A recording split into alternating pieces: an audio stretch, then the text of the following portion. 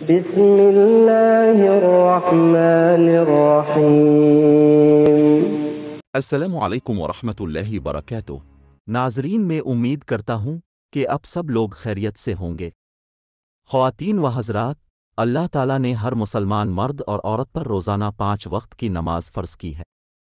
और हर नमाज का एक मखसूस वक्त मुकर्रर है और नमाज का इसी वक्त के अंदर अदा करना अफजल है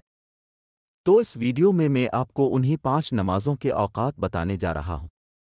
अगर इस वीडियो की वजह से आपके लिए आसानी पैदा हो तो इसको लाइक और चैनल को सब्सक्राइब कर देना, ताकि आपको आइंदा भी नमाजों के औकात पता चल सकें। तो चलिए आपको औकात बताते हैं।